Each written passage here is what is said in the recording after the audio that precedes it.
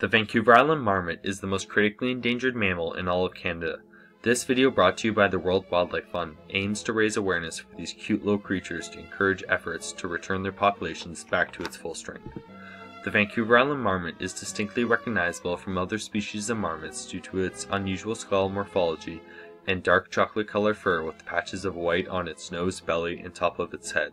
Adults typically tend to grow up to 72 centimeters and weigh around 6 kilos. However, this fluctuates greatly between summer and their hibernation season.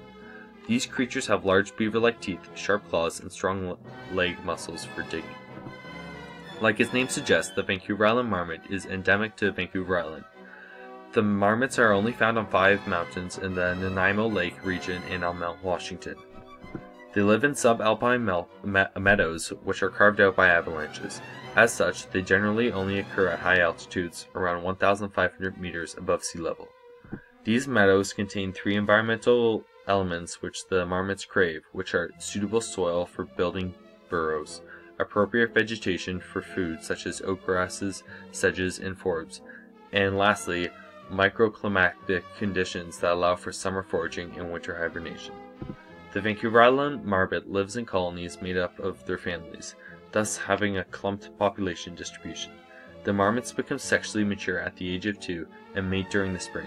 When a female is pregnant, a gestation during, takes only 32 days, and the female can give birth to a litter of 1 to 7 babies.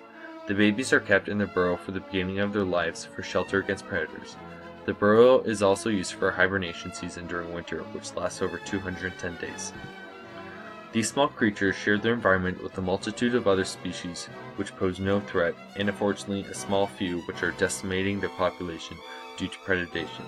The Vancouver Island marmot peacefully interacts with deer, elk, and other herbivores in the native BC area. The predators that the marmot faces includes cougars, wolves, and golden eagles. The predation is the greatest threat to survival of this marmot species, as it accounts for 75% of marmot fatalities. Sadly, it appears that the threat is only getting worse due to, to the rising cougar and wolf populations on Vancouver Island. Humans have played a detrimental role by interfering with the marmot's natural habitat, which has landed them on the endangered list. Starting in the 1940s, humans began clear-cutting forests located closely to the marmot's homes. By destroying the vegetation which the marmots use for camouflage, they became more susceptible to predators. This led to the rate of marmots that were killed by predation to skyrocket, which has plunged their populations to only a scarce few. In fact, 10 colonies, which were situated near clear-cut sites, became extinct by the year 2000. It is this combination of immense predation and human interference which has brought the Vancouver Island marmot to the edge of extinction.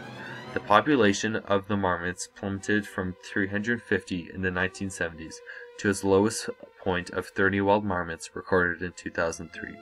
In fact, the largest colony of Vancouver Island marmots, located at Butler Peak, with a population of 39, was decimated to only 15 within a year.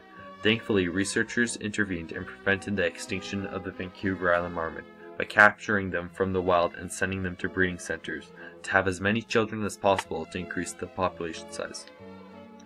As a result of eight years of reintroductions, over 370 marmots have been released on over 28 mountains on Vancouver Island as of 2016. The Vancouver Island marmot is not in the clear yet though, as scientists believe that an additional 230 marmots are needed to achieve the minimal uh, viable population size. Currently, there are two marmot habitats that are protected under the British Columbia Ecological Reserve Act, those being the Haley Lake Ecological Reserve and the Green Mountain Wildlife Critical Habitat Area. The reason why such effort is devoted to save the marmot from extinction is because they are one of a few endemic mammals in Canada and have become a local celebrity in British Columbia. The Vancouver Island marmot has appeared as one of the mascots for the 2010 Vancouver Winter Olympics and even inspired the Victoria Royals, a WHL hockey team, to make the Vancouver Island marmot its team's mascot. Protecting this little creature also benefits other animals in the ecosystem as well, as the reserves that have been set up for the marmot also protect other delicate wildlife in the environment. Now looking forward, the future of the Vancouver Island marmot appears to be bright. If we continue to care for this creature, it will once again thrive in its natural habitat. Thank you for taking time to watch this video, and if you would like to help out, you can donate to the Marmot Recovery Foundation and find out more interesting info on the Vancouver Island marmot.